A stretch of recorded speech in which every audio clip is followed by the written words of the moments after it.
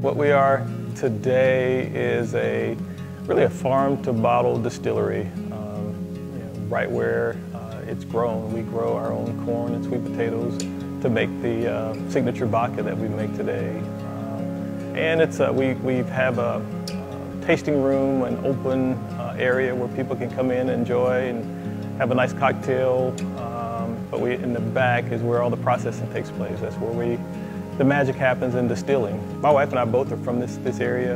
Uh, grew up in a small town north of here, between here and Marianna.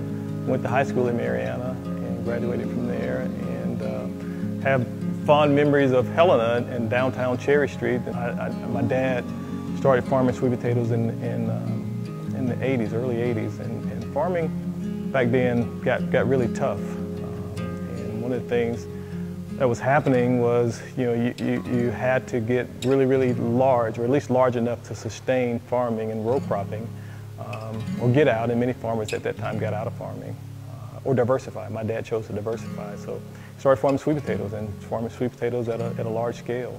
I wanted to share with you, though, my granddad, who actually bought our farm, um, uh, is, I have him pictured here, and then his dad was also farming on that land, but he was a sharecropper, never owned it. My, my granddad was also a sharecropper, but he was able to buy that land.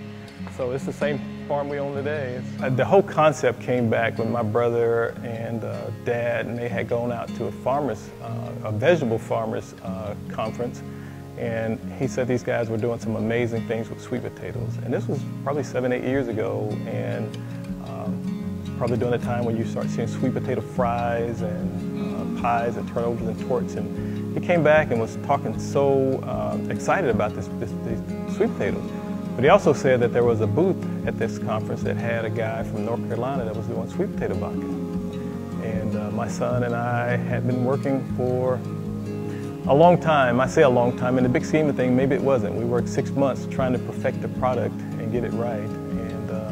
We went batch after batch after batch until we uh, got a good combination of sweet potatoes and corn uh, to make uh, what we consider the best sweet potato vodka in the country. I don't know, we just saw the opportunity and, and I, I will say my dad always did say, hey, if somebody's doing it, you can do it too.